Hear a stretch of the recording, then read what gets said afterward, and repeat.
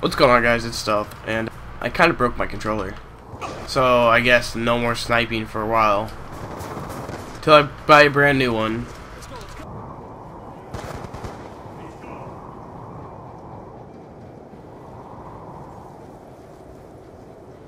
I, I, I get really pissed off at this game, I don't understand why, but I do. And uh, that's kind of how I broke my controller. It's like a gun graveyard here. What the hell? Yep, and I'm just adding on to the collection. And so how I broke my controller, I was playing some free for all, trying to get make a video-ish. It's gonna hit a trick shot and then do road to a trick shot. And talk about a story or two. I got a little too um, upset with this game. And this is why I don't like playing Black Ops 2, because I just get pissed at it. I can't play it for a long amounts of time. And uh, when I got pissed, I just kept playing and trying to hit a trick shot.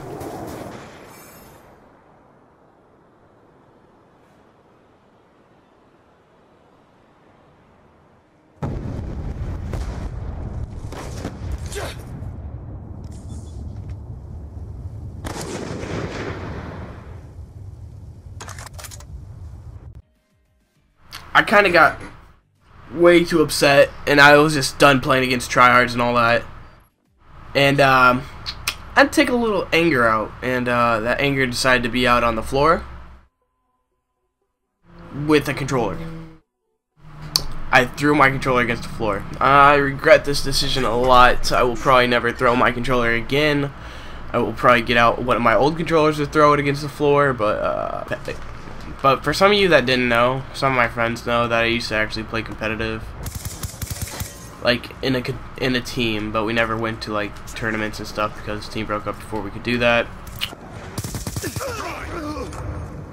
I shot so much better with the AN. No, it's not. So I kind of finished 27 and 12, stepped it up, but um, that's really been it, guys. I hope you guys enjoyed. This has been Stealth laugh at my misery because I'm an idiot. I'm out.